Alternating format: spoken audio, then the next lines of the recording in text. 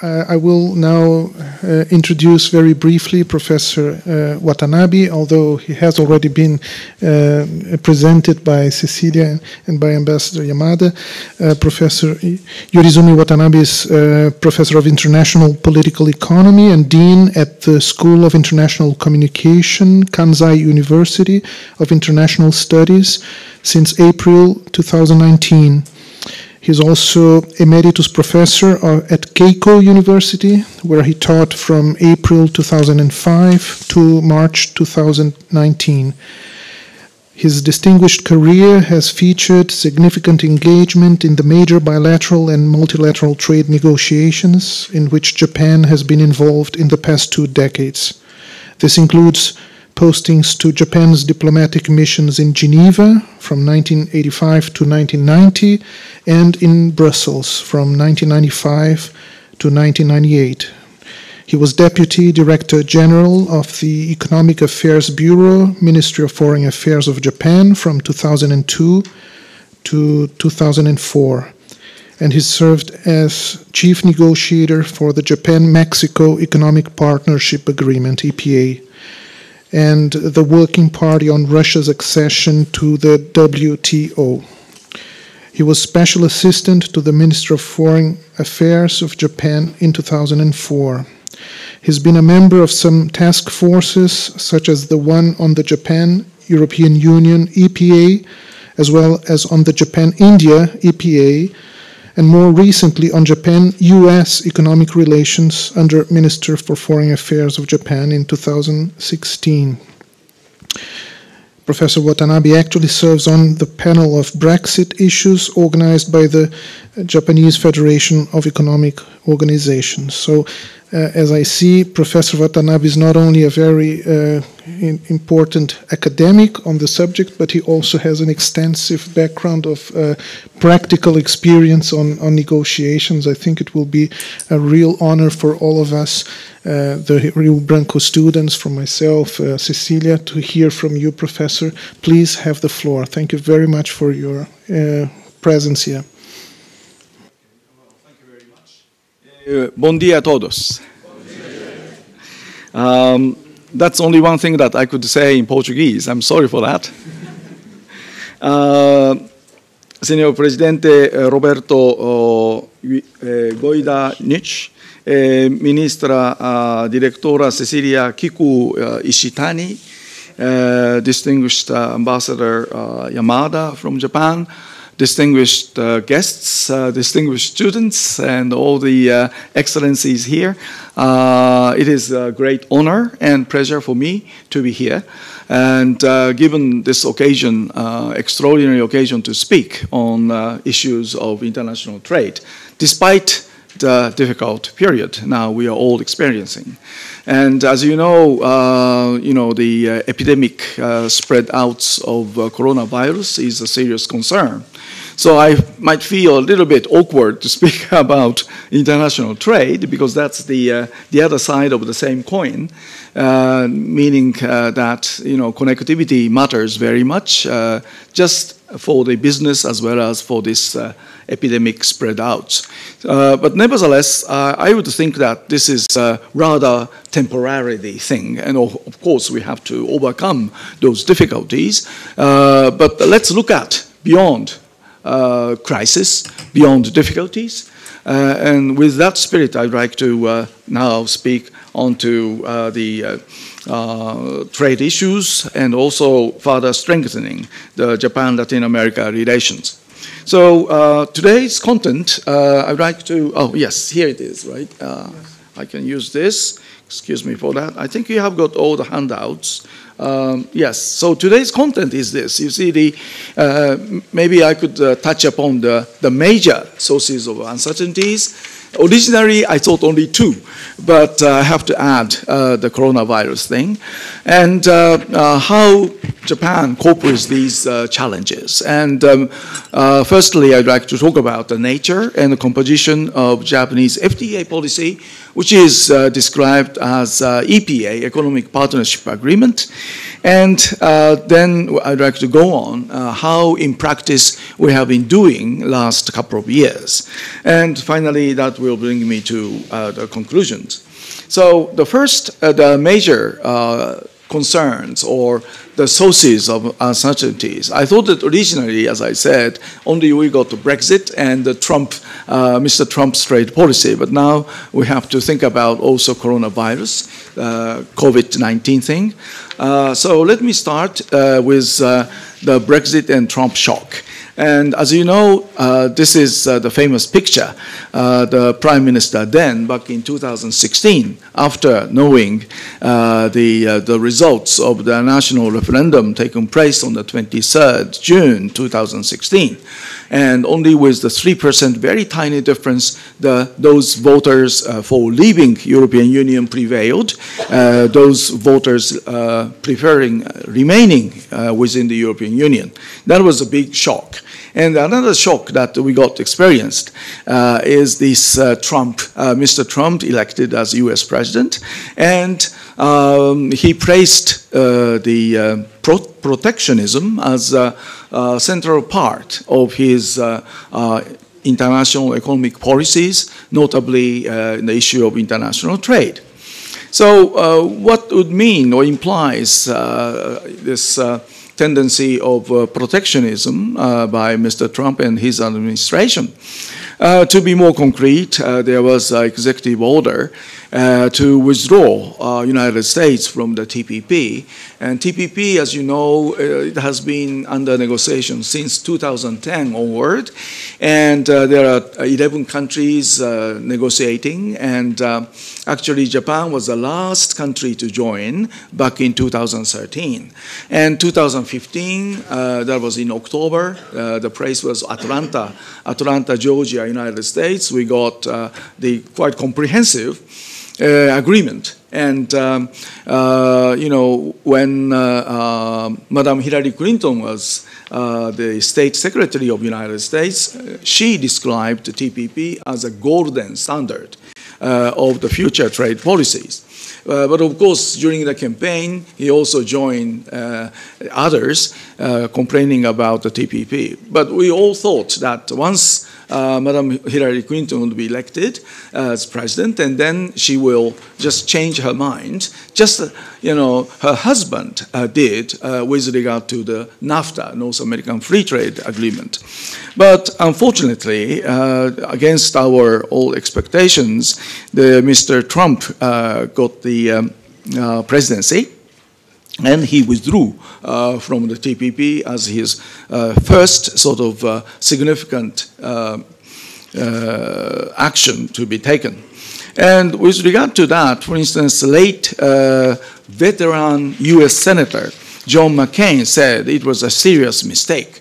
And he, Mr. McCain, late McCain, said that that would create an opening for China to rewrite the economic rules at the expense of American workers, and it will send a troubling signal of American disengagement in the Asia-Pacific region at the time United States really uh, was needed. You see, that was his message.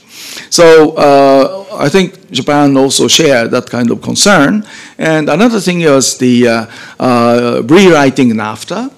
And as you know, the NAFTA contains North American Free Trade Agreement, but its version 2, uh, that is called USMCA, no longer holds F.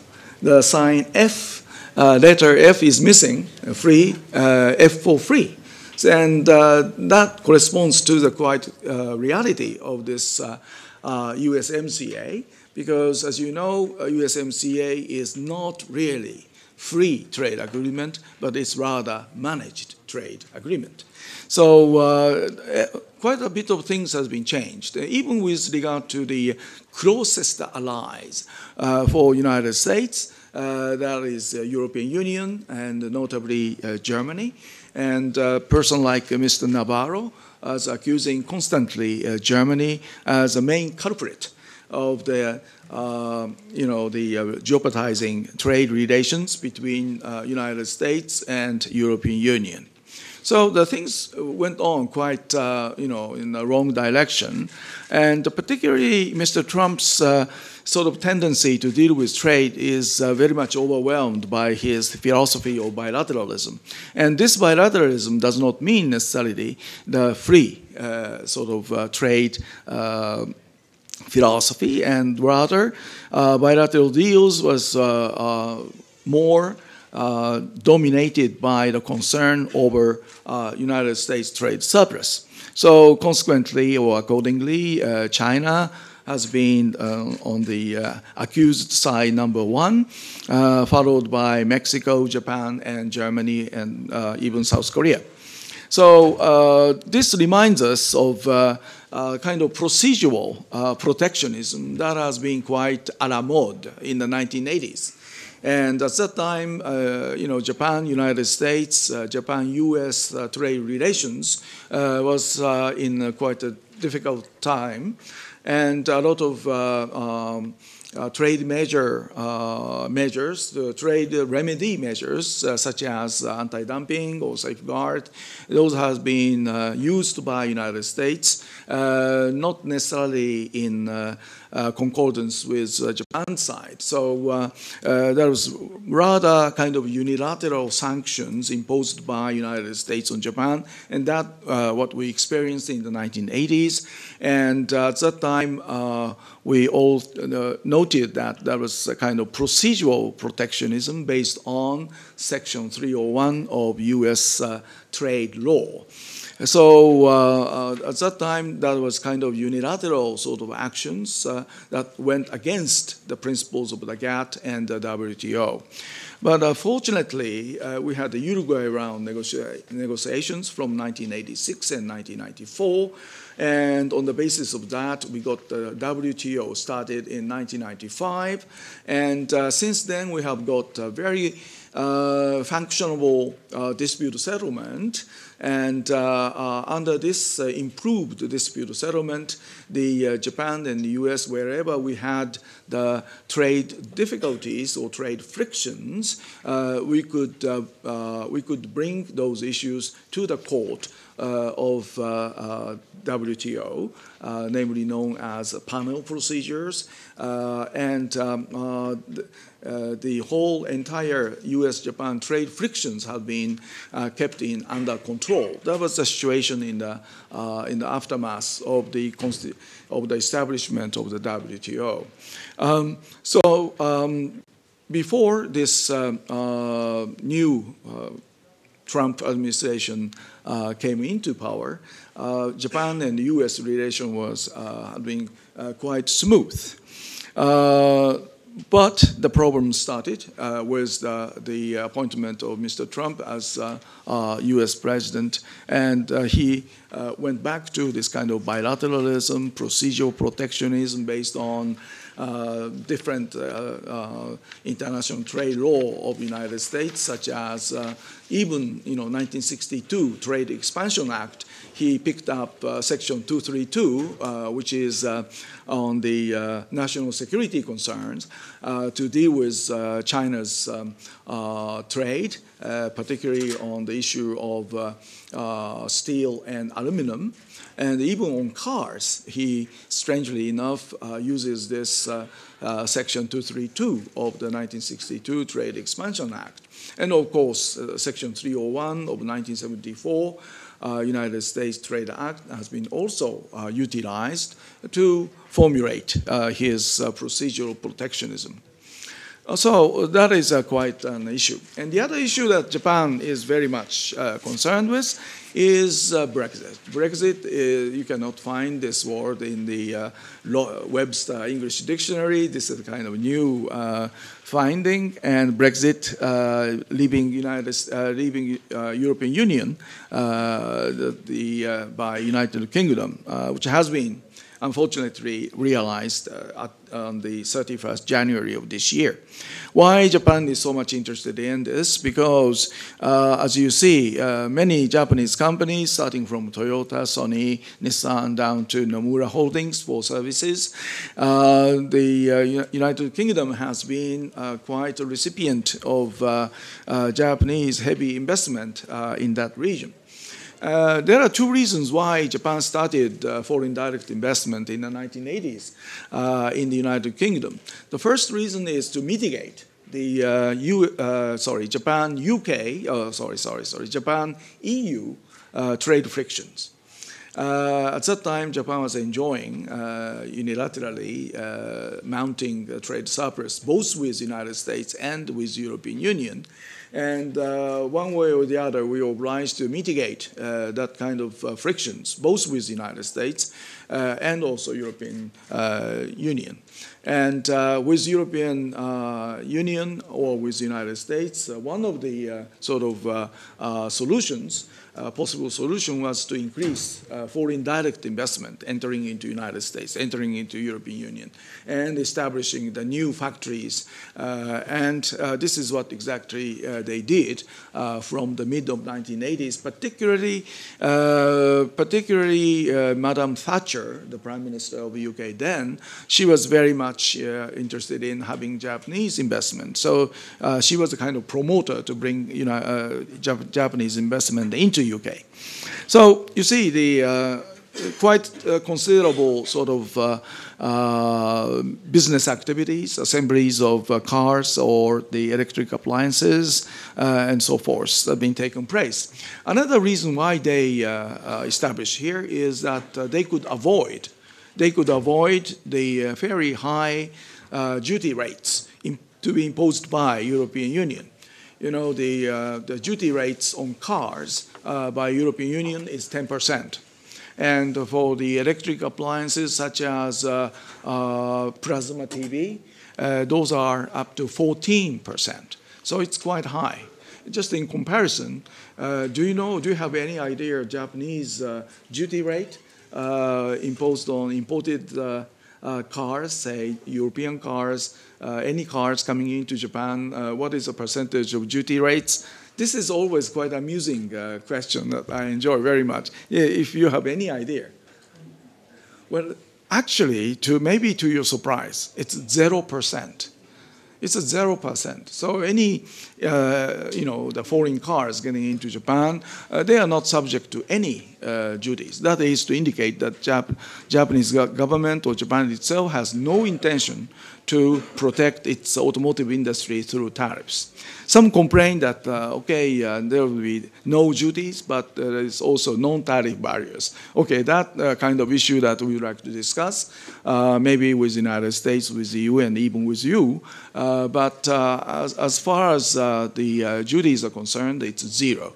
And actually, actually applied rates on industrial products uh, of uh, all the duties, industrial tariffs uh, for the foreign products coming into Japan, the average rate is only 1.9%. So uh, Japanese tariff structure is such that uh, for in, uh, industrial imports it's very low. But to be honest with you, we have very high protection on agriculture. But even for agriculture, the average uh, duty rates is about 12% uh, and 15%. But we have some tariff peaks, you know, the very high duties on uh, some of the uh, sensitive, sensitive agricultural products such as uh, rice, wheat, dairy products, meat, and so forth. So that's a matter that we have to discuss, perhaps, when we are engaged in the negotiation anyway.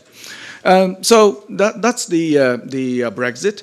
And uh, the, what would happen if uh, European Union and UK could not agree on the good terms, terms and conditions uh, to uh, you know, look after their post-Brexit situation between two countries?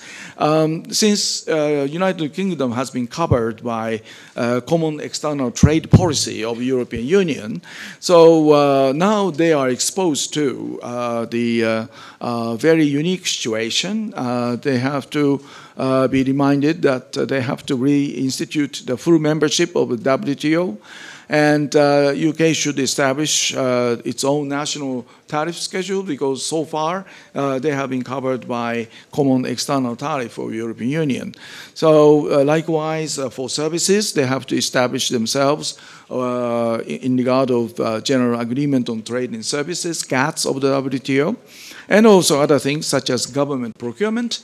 Uh, they have to also do the same uh, to what extent the government procurement of United Kingdom would be exposed to international competition uh, in line with uh, government procurement agreement of the uh, WTO.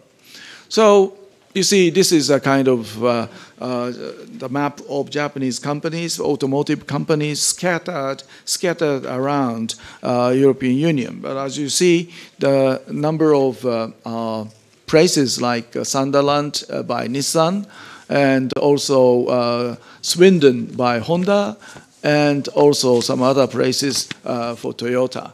So they are really in a kind of trouble, uh, you know, in terms of future investment, what to do with this, you see. So that's the, uh, the source of concern for Japanese, uh, Japanese companies uh, who have been, uh, who have been presented in the, in the UK. Now the third element, uh, third source of concerns for us, this is the most recent one, and that's the coronavirus. And uh, unfortunately, uh, the global value chain or production networking has been developed, developed uh, to such a manner that this kind of epidemic could be also, uh, you know, take advantage of the uh, the spread and the value, sort of, uh, you know, worldwide connectivity. So it's it's really pity that the connectivity in a positive sense for industrial uh, outputs, industrial uh, production networking. Uh, at the same time, the negative side of that, the connectivity in the virus uh, has been affecting negatively the human life. So I would say that this is a threat to human, human beings, human health, and also at the same time it's a menace to global value chain. And uh, as you see, uh, just for your information, actually I sent the kind of updated version of uh, uh, table, but it's not reflected here. Uh, actually, uh, this uh, is the old version that I prepared for the March uh, the 3rd and March the 2nd. So in accordance with the March the 3rd um, data, uh, in Japan, those people who have been infected as a 274. And today, I collected from uh, NHK, that's the Japanese BBC, uh, I collected the number has been increased to 480. So there is a bit of increase there for those infected. But at the same time, I'd like to also draw your attention to the number of those who passed by, the victims. Uh, although uh, we had a quite significant uh, increase of number of people inf infected from 274 to 480, which is the most recent number, the, uh, I'd like to uh, also uh, inform you that there's only one additional victim, so that makes seven instead of six by now. So you see the um, the people affected or in, infected have been increased, but uh, this toll, this toll does not really uh, show us any, uh, you know, kind of uh, dramatic change there. So things becoming rather uh, under control. And also, uh, I'd like to mention that there are people, 46 people out of 274 recovered uh, from uh, coronavirus. And this recovery has been also uh, increased in number in the most recent uh, in the most recent report. So, in comparison with uh, the numbers in overseas, the I would say that Japan has been doing quite well in in the containment of this disease. And since uh, uh, quite drastic, uh, drastic uh, measures have been taken in Japan, such as uh, closing down, shutting down all the elementary and junior as well as senior high schools. And uh, now we are towards the end of academic year, but the universities are also told that uh, they should refrain from having uh, uh, commencement ceremonies, graduation ceremonies, and the government is quite determined to tackle down this. Uh, saying our prime minister saying that uh, the coming uh, one week or two would be a very critical moment. So even you know the, there are some small fans here the sumo wrestling, you know, the traditional Japanese sports, uh, sumo is uh, now taking place without any spectators. You know, usually there are about uh, uh almost 15,000 uh, spectators. It depends on which uh, stadium, but the, this time it's a very uh, sort of uh, unique uh, sort of situation. the sumo wrestlers fighting, but no, no spectators. And also the uh, uh, professional uh, baseball uh, league of Japan has decided to postpone the, uh, the starting of the season. Uh, that was expected on the 20th March, but that will be also further extended. So a number of very significant and determined action has been taken. So I hope that this coronavirus thing could come down and uh, uh, hope that we could go beyond and the business hopefully uh, comes back. So uh, that is kind of the third uh, element that I wanted to talk about. And uh, again, you know, with the hope that we could recover from that, I'd like to go on the, the issues of international trade, how Japan has been organizing the international trade policies, maybe last five to ten years or so. Um, the, uh, uh, the second part is uh, precisely that uh, kind of uh, uh, discussions that I want to bring in to your attention.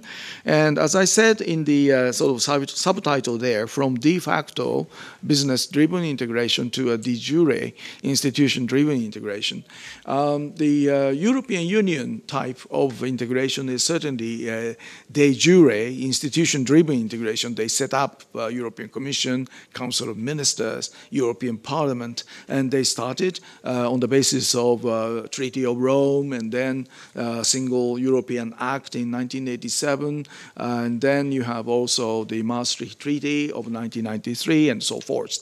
Uh, but in East Asia, that is not the case. Uh, in East case, in East Asia, uh, it started is with foreign direct investment, particularly from Japan.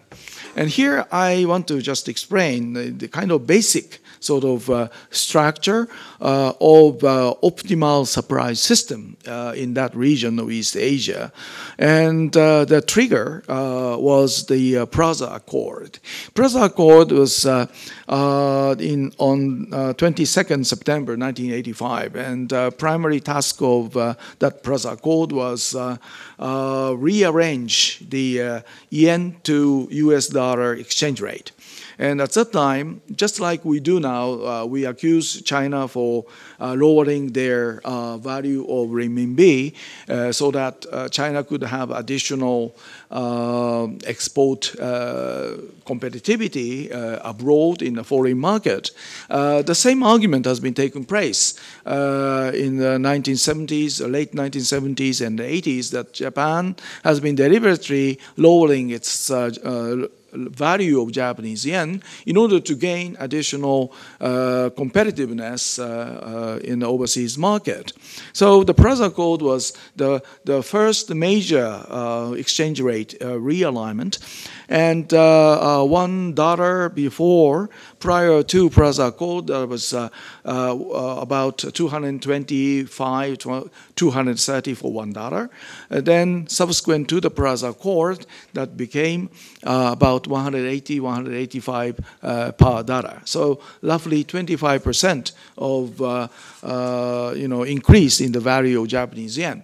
And of course, that would affect uh, negatively uh, the products made in Japan, particularly for those uh, uh small and medium-sized enterprises who have been producing parts and components for cars or electronics.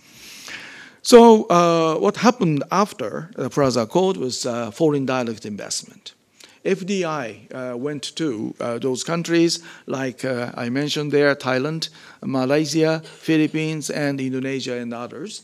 And uh, the uh, those parts and components companies, uh, they made enormous FDI and then started their local production of those, you know, bits and pieces of parts and components, respectively.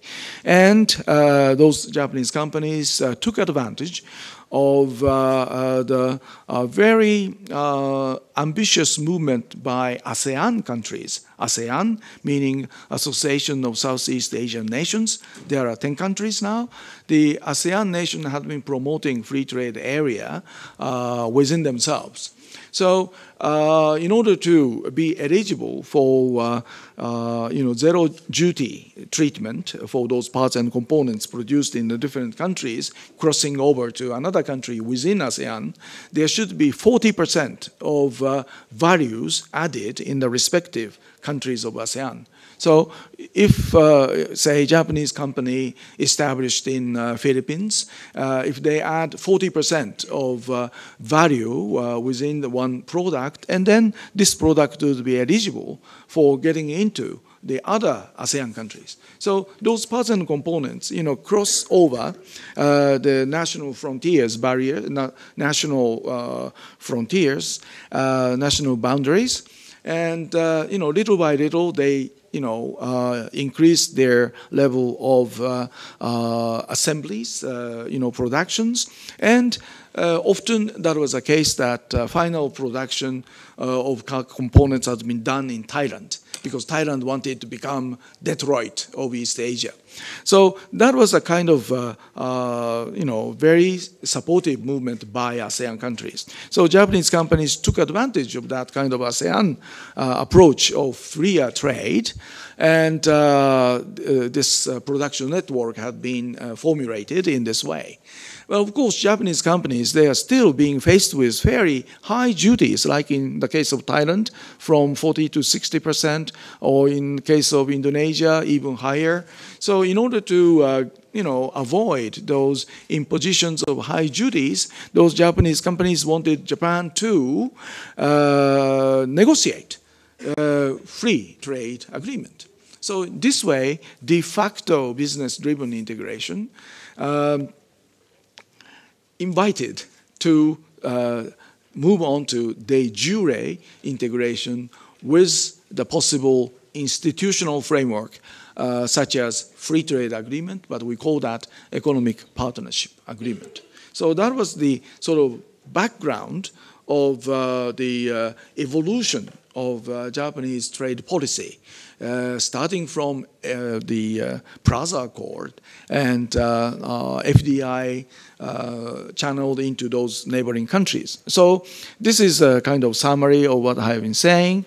Plaza Accord as a ignition key, de facto business-driven integration through FDI. Uh, establishing supply chain production networks, FTA EPA to consolidate the merits of de facto integration, Uh, from bilateral FTA EPA uh, to uh, wider uh, regional FTA EPAs in, involving ASEAN countries, ASEAN plus uh, three, that was uh, China's proposal back in 2004. Japan could have go along with this China's proposal type of ASEAN plus three, but at the same time we have a bit of preoccupation that within the ASEAN plus three, China would be predominantly big you see. Maybe a little bit, you know, uh, too much, uh, you know, the uh, presence of China. Uh, so uh, what Japan proposed was in two years later, uh, in 2006, Jap Japan proposed ASEAN plus three, that is JCK, Japan, China, Korea, plus Australia, New Zealand, and India. So that is ASEAN plus six.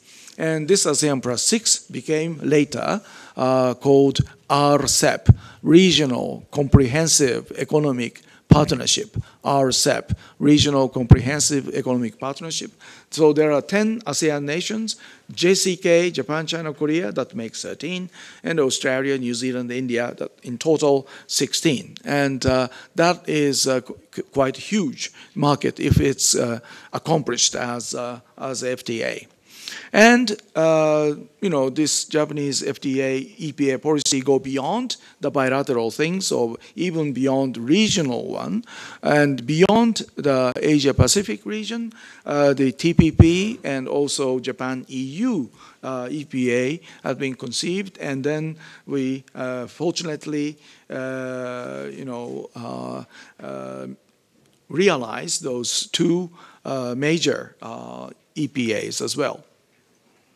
So uh, that is the uh, uh, market integration in East Asia. So we have now some 15 to 16 uh, bilateral EPAs, plus we have CP, TPP, uh, TPP 11 after US departure from original TPP. Okay, so uh, this is uh, the list of uh, Japanese um, uh, successful conclusion of uh, EPAs, uh, starting from Singapore and followed by the one with Mexico. and amongst the Latin American countries, we have Chile, Peru, and Colombia down there, which is still sort of in lingering negotiations and that covers roughly uh, slightly more than half of Japanese external trade in total. Uh, so uh, now I'd like to take a couple of slides to explain uh, what is the component of uh, Japanese FTA, which is called EPA, Economic Partnership Agreement.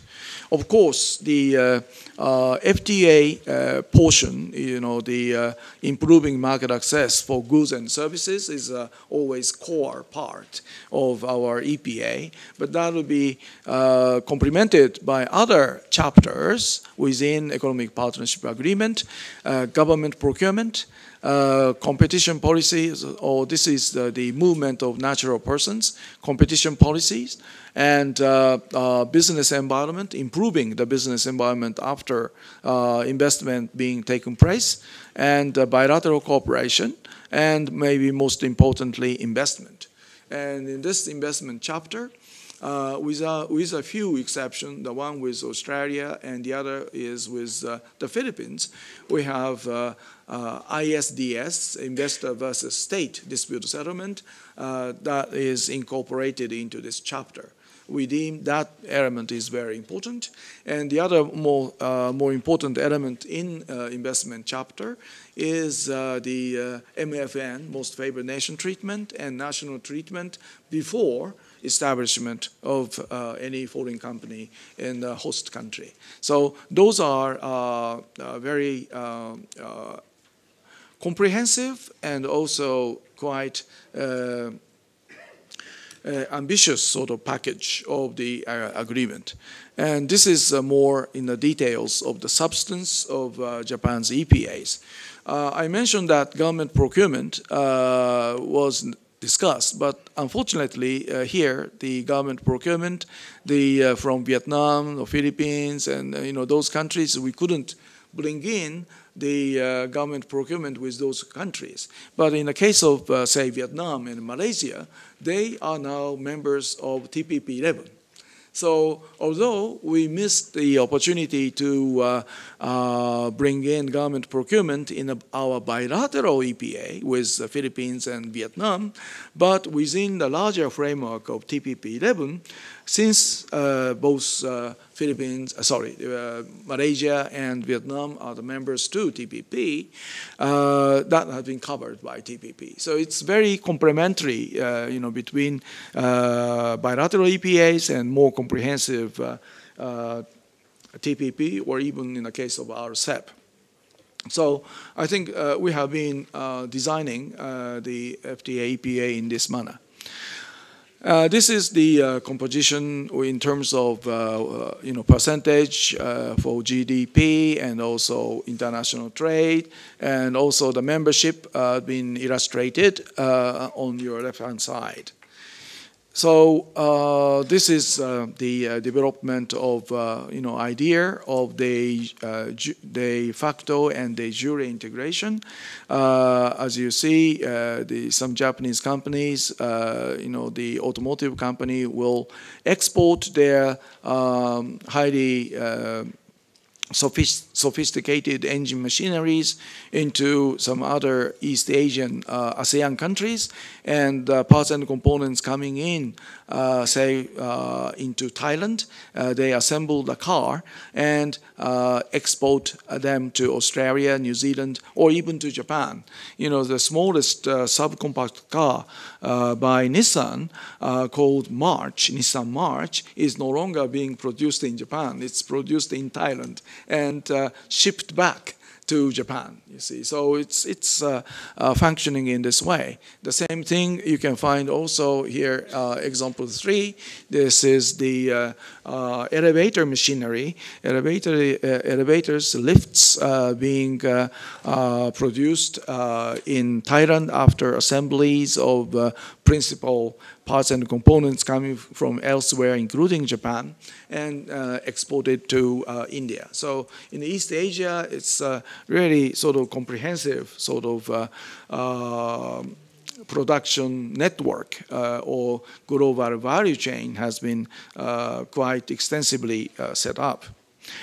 Now, uh, how, how far we can go, I mean, the, how we should go along from now on. And uh, I'd like to explain that with this uh, slide. Uh, so from uh, left-hand side to right-hand side, um, the, we have already number of uh, EPAs, bilateral ones.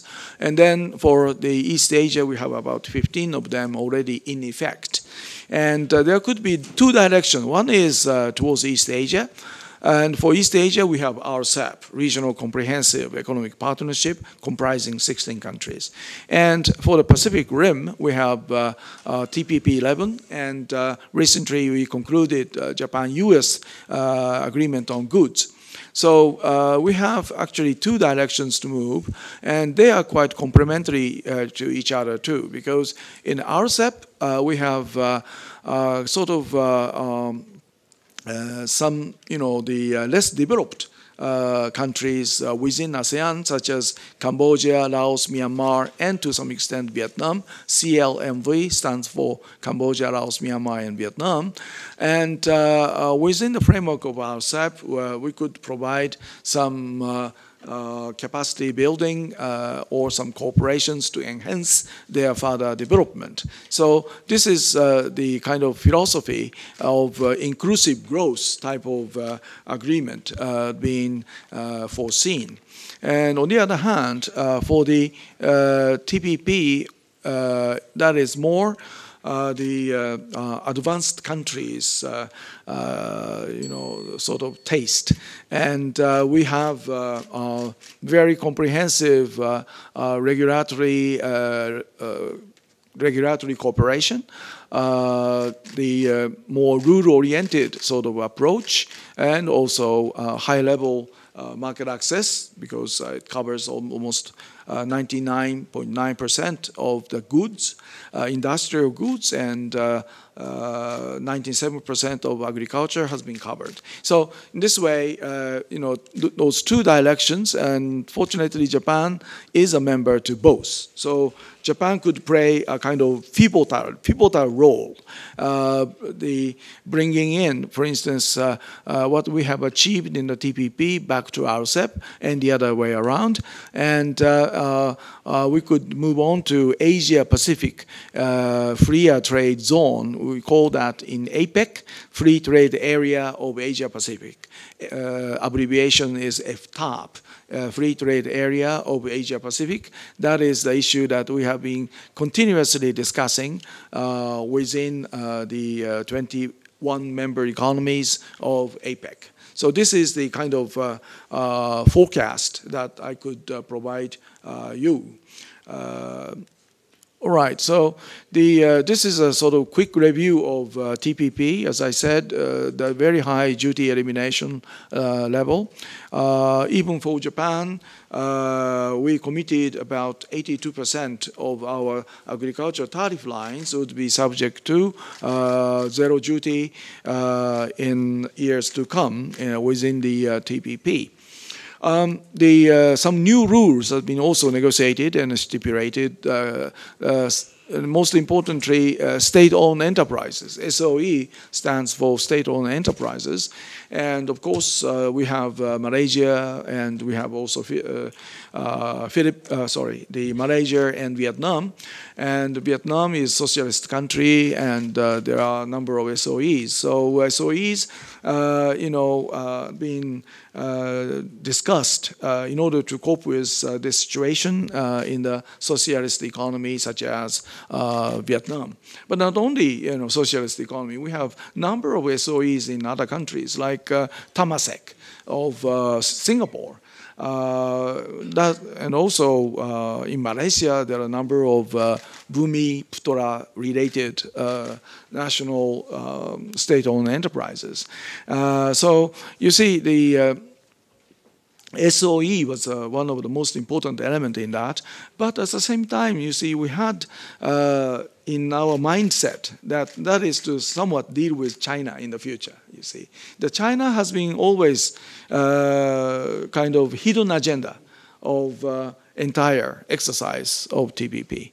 So, uh, uh, you know, the SOEs uh, be a quite important sort of element whenever we think about future trade relations with, uh, with China. Uh, okay, so uh, let's move on the, to other elements, sorry. yes. Uh, now, United States withdrew from uh, the TPP, and uh, we have some uh, significant uh, sort of uh, um, backlash or the negative effect. China will take advantage of U.S. withdrawal from rulemaking in trade and investment across Asia Pacific by imposing its own power-oriented uh, trade policies, aggressive use of anti-dumping measures, or state subsidies on steel. So you see, United States should not have withdrawn itself from TPP. They could uh, deal with uh, China's uh, state uh, subsidies on, on steel if more effectively if they remain uh, on the original TPP. Uh, China was also, China has been losing its own incentives to enhance uh, their own FTAs, RCEP and uh, JCK, in absence of TPP, jeopardizing further trade liberalization in East Asia. Uh, that is really the uh, uh, problem. And if you look at the China-Korea FTA that was concluded 2015, uh, unfortunately, this doesn't really function anymore. you know, because um, the U.S. missiles have been deployed in some part of, United, of South Korea, and China didn't like that. So China took a number of sanctions against this, and Unfortunately, uh, this China-Korea FTA has been, has been ruined uh, quite completely. Um, so uh, now China is more interested in Belt and Road initiatives and also uh, more strength on the uh, China's uh, financial arms such as AIIB, Asian Infrastructure Investment Bank, and also BRICS Bank. Uh, so market economy principles are to be uh, irreversibly pushed back and uh, diminished, if not completely uh, faded away. Uh, so that could constitute a major crisis for free democracy in that region. So that's why the Japan took a very decisive attitude and decisive steps uh, towards realizing TPP, uh, even uh, without United States. So TPP minus United States, namely TPP 11, pursued as a template uh, for 21st century trade rules across Asia Pacific uh, to keep momentum of liberalization of trade and investment of, in that region. So how does Japan deal with uncertainties? Uh, TPP 11 that I have mentioned, uh, following the withdrawal of United States, uh, Japan took initiatives uh, on, uh, you know, keep uh, the um, momentum for freer trade. And this is a short chronology. And uh, uh, some 20 provisions, uh, mostly in the area of intellectual property rights, Uh, because the, those was uh, United States who wanted to build in. So we suspended uh, those 20 provisions, but no changes on the market access, no substantial changes in the market access deals. Uh, in the TPP, uh, original TPP, TPP 12. And agreement in substance accordingly uh, reached in January 2018, and that came into force the end of 2018. That was December 2018 we have a separate bilateral track uh, with the United States. Uh, we have some uh, some prelude uh, with the United States. One is uh, our Prime, Vice Prime Minister Aso and Vice President Pence. Uh, they had economic dialogue since 2017, and also second step was free, fair, and reciprocal trade talks since April 2018. but more significantly, we have this trade agreement on goods talks. Uh, that, that has been agreed on the 26th September 2018.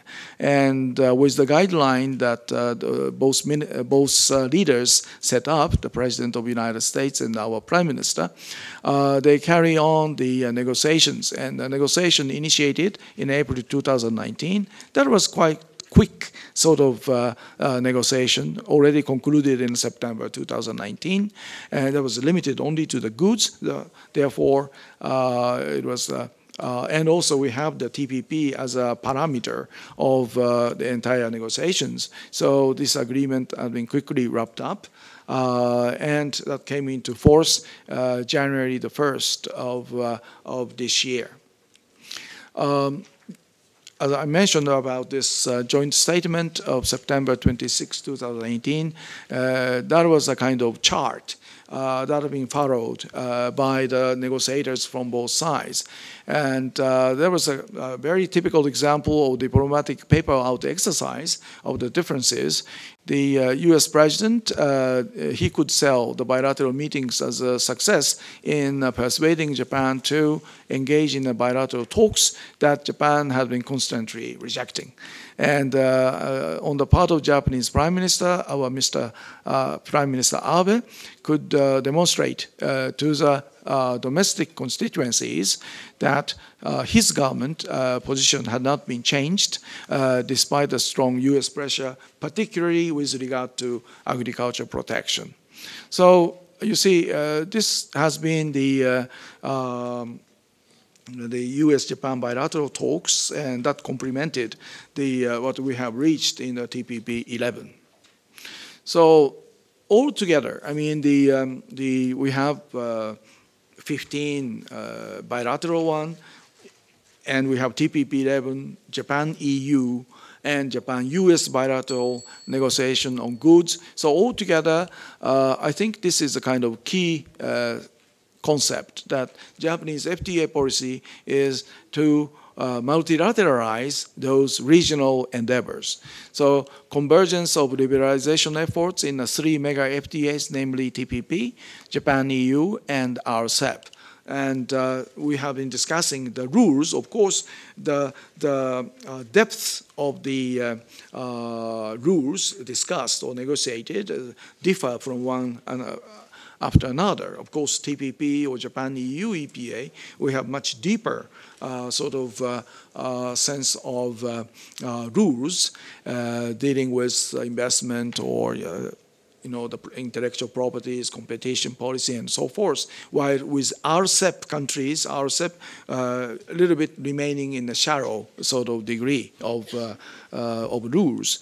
Uh, but nevertheless, those, um, you know, the results of mega FTAs can be uh, brought back to uh, the WTO.